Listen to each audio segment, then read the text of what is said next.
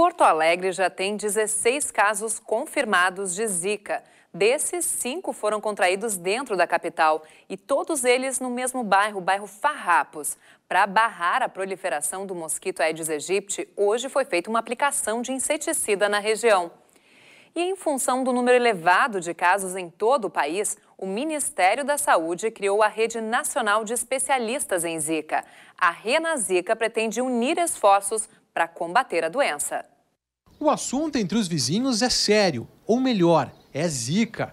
Só nos últimos dias, cinco casos autóctones do Zika vírus foram registrados no bairro Farrapos. A gente está preocupado, né? Porque tem criança pequena, e então a preocupação é total.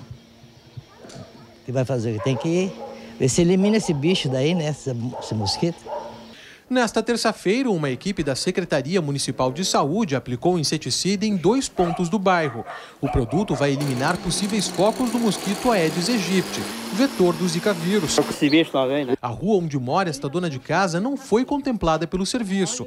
Mesmo assim, o combate aqui também é intenso. Eu molho, quando chove, eu tiro os pratinhos já para evitar, porque eh, diz que eles ah, produzem a larva, né?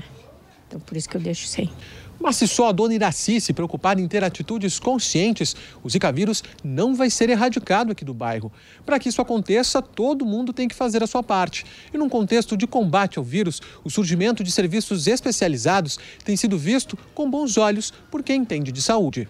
É o caso do Renesica. Segundo este especialista, o novo serviço deve reunir informações sobre o vírus e doenças correlacionadas, além de desenvolver e aprimorar protocolos de combate ao mosquito transmissor.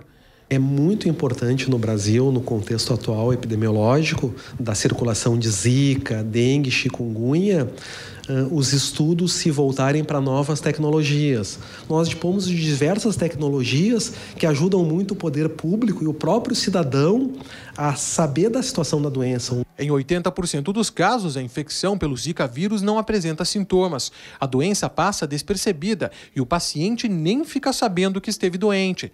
Já no caso de gestantes, o vírus tem sido ligado ao surgimento de microcefalia em recém-nascidos, que é quando o crânio do bebê apresenta um diâmetro menor do que o normal.